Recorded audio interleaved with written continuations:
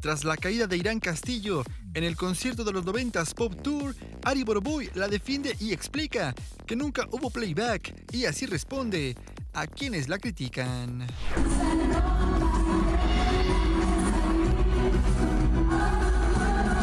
No, no es playback, no es playback. De entrada, Irán está muy bien. Eh, poca gente preguntó Muy por eso.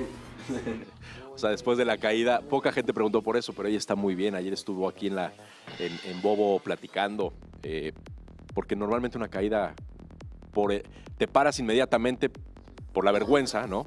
En medio de 12 mil personas, pues un poquito más de vergüenza, pero ella está muy bien.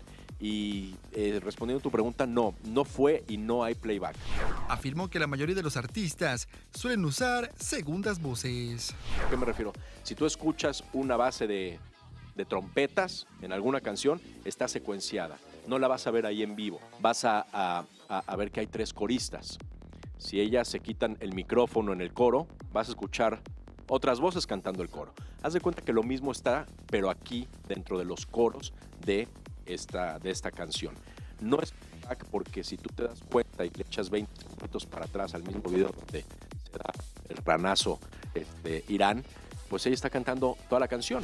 A la gira de los 90s Pop Tour se une Beto Cuevas.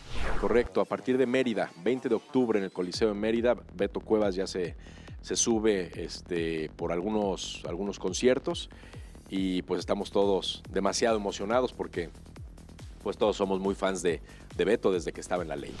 Con tanto trabajo, Ari Boroboy se da tiempo de estar cerca de su esposa, quien el próximo mes de noviembre dará a luz, aunque no reveló el sexo del bebé.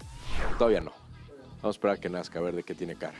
La verdad es que casi todas las noches procuro llegar a dormir a mi casa, entonces son poquitas las que, las que no estoy. Además de los conciertos y giras, el integrante de OV7 une esfuerzos junto al conductor Jen Duverger para promover y potencializar el deporte. Queríamos abrir un área nueva dentro del entretenimiento también, que es eh, pues, el entretenimiento deportivo. Entonces nos dimos a la, a la tarea de buscar a la mejor agencia. Nos gusta trabajar con los mejores. Pues entonces queremos potenciar, este, potencializar completamente lo que, lo que pasa en el mundo deportivo a los deportistas y a los comunicadores que están ahí. Todos los días sale el sol. Flavio Machuca. Sale el sol, lunes a viernes, 8 a.m. Participa en Imagen Televisión.